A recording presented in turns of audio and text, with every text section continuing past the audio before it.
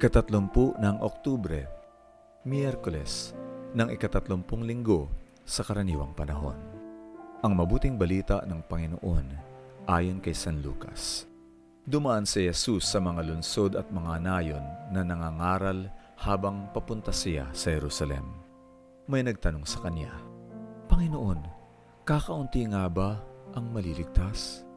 At sinabi ni Jesus sa mga tao, Magpumilit kayong pumasok sa makipot na pintuan sapagkat sinasabi ko sa inyo, marami ang gustong pumasok at di makapapasok. Kapag tumindig na ang may-ari ng bahay at naisara na ang pinto, tatayo kayo sa labas na kumakatok at magsasabing, Panginoon, buksan mo kami.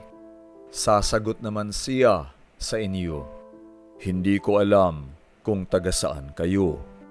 Kaya sasabihin niyo, kami ang kumain at uminom na kasalo mo at sa aming mga lansangan ka nangaral. Pero sasagutin niya kayo, hindi ko alam kung taga saan kayo. Lumayo sa akin, kayong mga gumagawa ng masama. Naroon ang iyakan at pagngangalit ng mga ngipin. Pagkakita niyo kina Abraham, Isaac, Jacob at sa lahat ng propeta sa kaharian ng Diyos. At ipagtatabuyan naman kayo sa labas.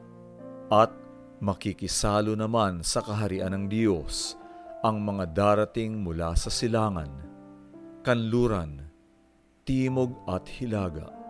Oo, may mga huli ngayon na mauuna at may mga una na mahuhuli. Ang mabuting balita ng Panginoon. Pagsasadiwa, magpumilit kayong pumasok sa makipot na pintuan sapagkat sinasabi ko sa inyo, marami ang gustong pumasok at di makapapasok. Makitid ang pintuan dahil mataas ang pamantayan ng Diyos. Ang pagkamaligamgam, ang walang pakialam, ang pagmamataas, ang panliliit sa kapwa, ang pagsasaisan tabi sa mga may hina. Pare-pareho itong taliwas sa tunay na pakikibahagi sa buhay ng Diyos. At sa makatuwid, taliwas sa daan patungo sa pintuan ng kaharian. Maraming Hudyo at kung tutusin, maraming tao ang nababara at natutumba dahil dito Karaniwan kasi sa tao ang pagkamasarili. Inuuna ang sariling kalooban kaysa kalooban ng Diyos. Kaya sa kanilang pagsasabuhay ng handog na buhay, ibinubuko din ng mga tao ang kanilang sarili. Napuputol tuloy ang ugnayan sa Diyos at kapwa. Pinatatalsik nila ang kanilang sarili sa kaharian ng Diyos.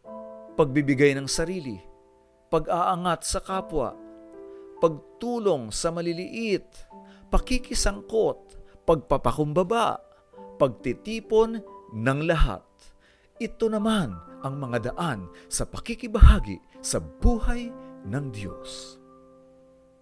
Pagsasagawa, kung ano ang nasa diwa, yun ang makikita sa gawa. Ano ang palagiang naglalaro sa diwa mo?